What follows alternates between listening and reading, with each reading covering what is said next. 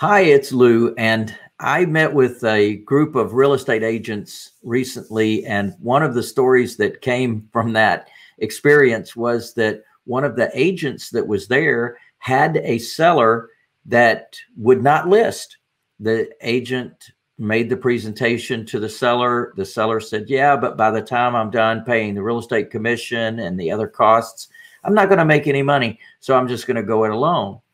And she told me about this person and I said, well, why don't you go ahead and set up a meeting? And if I can buy the home, I'll pay your commission. So, in other words, if the seller is willing to work with us and it makes sense to the seller, then we'll make the, the, uh, we'll just pay you your commission. Well, sure enough, so we have a process that we do uh, and we we make a whole presentation to a seller. We don't just chit chat. We we make a whole presentation. We tell them who we are, what we do, how we operate, how we can help, and we have that uh, on PowerPoint slides. So as the agent and myself and the seller were online, I was literally able to walk them through our program and one of the things I always include is what our plan is with their home. And so what we are is certified affordable housing providers. And what we offer in the local community is a program called the Path to Home Ownership. And we offer that to deserving families, regardless of credit or financial background, to ultimately end up with home ownership. In some cases, we become the bank for them. In other cases, they get good enough credit, good enough down payment, and they go to the bank, qualify for a loan, and pay us off. So there's great opportunities for potential buyers that can't buy the house the traditional way.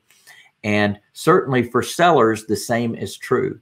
So in this case, the seller had a special request. She said, I don't really have my replacement property yet. And I'd like to be able to have a closing and know that it's sold and be able to stay in the home until I get my replacement property. I said, Yes, we can do that. You see, that's something that a traditional buy sell relationship does not allow because the new buyers coming in, they're usually selling another property or they're coming in from out of town. they can't buy the home and then let the seller hang out there with their new loan in place. They they want to move in. They have a use for that property. But we're different. We have a a group of folks that want to buy properties from us. We certainly can show that home to them and work with them on the timing of their move, work with the seller on the timing of their move. So it worked out fantastic. And so I was able to go through the presentation with the seller. That that deal is pending at the moment. And one of the things that's unique about what we do is we educate the seller along the way. So we've got a list of what the seller should expect to pay in a traditional uh, sale of a property. Well, guess what? We're sellers, aren't we? When we sell the property to someone else, then we have expenses as well.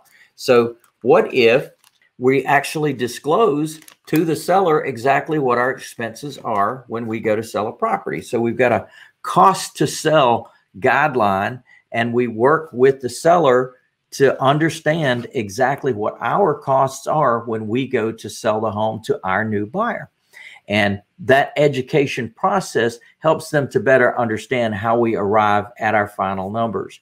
So sure enough, the seller's considering our offer right now and really has only two options. Go ahead and list the property, see what the market brings. But guess what the market's going to bring? A buyer who wants to move into that property. And by the way, the seller hadn't fixed up the property, so it needs to be updated and upgraded to today's standards, colors, and style. The seller had not done that. So that's another reason that ha- properties typically sit on the market longer. And that's typically the reason why they have to take a lower price for the property sooner or later. Sometimes they go ahead and list it expecting it to sell for that top dollar, and then they find out later that's not going to happen. Well, in our case, we can go ahead and buy the property, allowing for all the fix up that we're going to have to do if we were to do it, because typically our buyer will come in and do some or all of the repairs in exchange for a credit towards their down payment. So we have some very unique things. So in that example, if we're able to purchase this property, then this the seller is going to get their satisfaction of being able to know that the property sold and we can work with them on uh, what's called an occupancy agreement after the move out.